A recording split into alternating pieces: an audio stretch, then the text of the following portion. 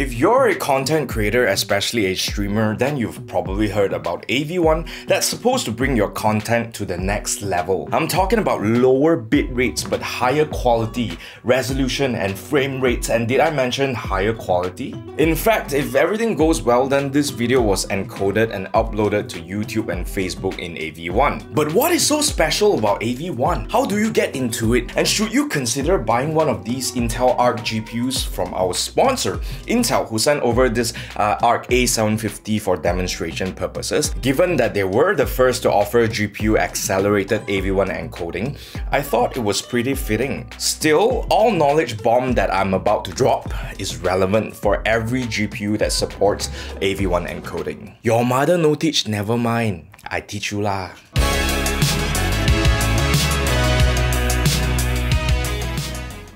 Before we talk about AV1, which is a codec, we firstly need to talk about what is a codec. Basically, it is what you should thank every day for being able to stream and store thousands of cat videos in your phone without running out of storage and bandwidth. Why?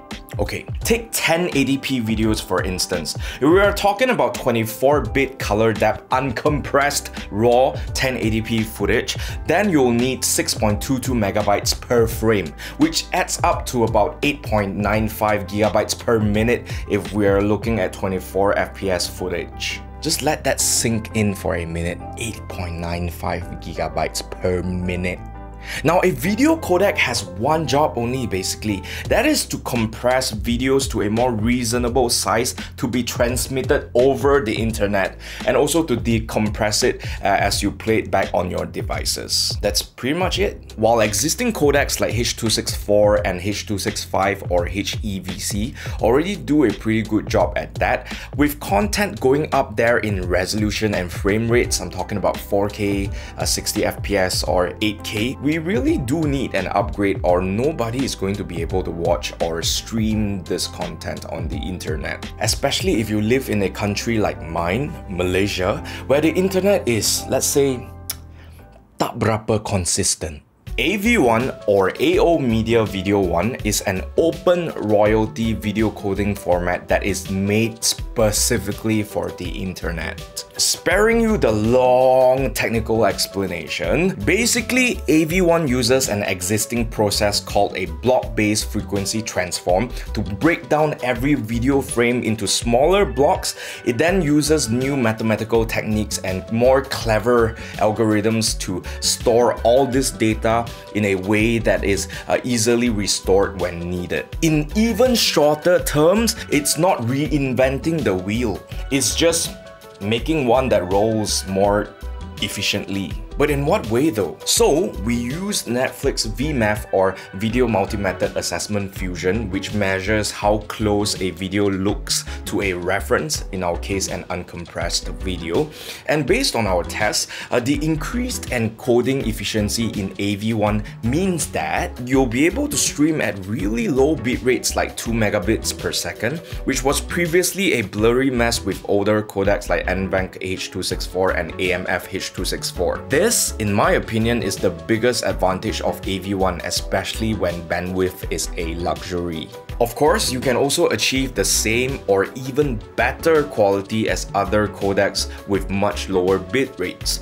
Taking a look at this video encoded with AV1 at what I view as the bare minimum for streaming in 1080p, which is 3.5 megabits per second, we can see that it performs better than both the H.264 encoders running at almost double the bit rate at 6 megabits per second. We're talking about more clarity and details at nearly half the file size. Lastly, you can achieve higher resolution and quality as other codecs at the same bit rates. Now you can finally stream in 4K 60 FPS at bit rates that are more reasonable like 10 megabits per second. For your reference, my recommended bit rates for streaming at these different resolutions are as follows.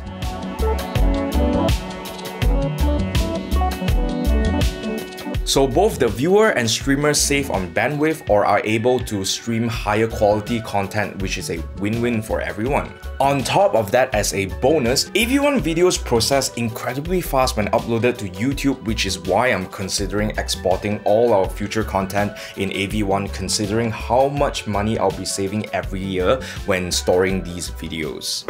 So how does one AV1? To encode and export videos in AV1, you can use DaVinci Resolve Studio version 18.1 and newer, which natively supports it, or Premiere Pro, but you'll need to use a plugin like Voukoder for that to work. To stream or record AV1 content, the easiest way would be using OBS, which has officially supported AV1 encoding and streaming about 6 months back. Just go into settings, output and switch the encoder to AV1. Of course, course, if you want to use GPU accelerated AV1 encoding, then you'll need a GPU that supports it. Finally, let's talk about the spending of the hard-earned cash. I'm gonna break you, potential AV1 users, into three groups. Group number one are people that already have existing GPUs from previous generations that are decent at gaming already, but do not support AV1 but you want AV1. Looking at the cheapest offerings from all three teams, it is evident that the ARC A380 is the best and most budget-friendly option uh, to give you AV1 encoding as a secondary GPU.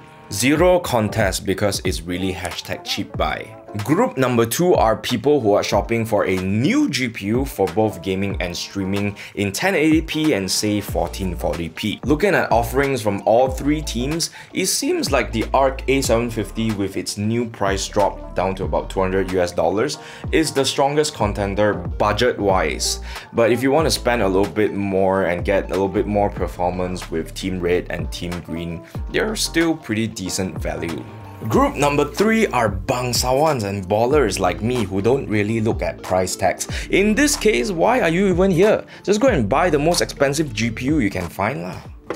Honestly, AV1 really surprised me it actually exceeded my expectations. It is one thing to see other content creators like Epos EposVox talk about it, it's another to actually see it for yourself. Ultimately, no cap, but I'm just grateful that we have a new player like Intel in the GPU market so that we don't have to pay exuberant prices to the other two teams. One team is so much worse than the other, but I'm not gonna name which team but you tao tao lah. We don't have to pay so much just to get into new technology like AV1.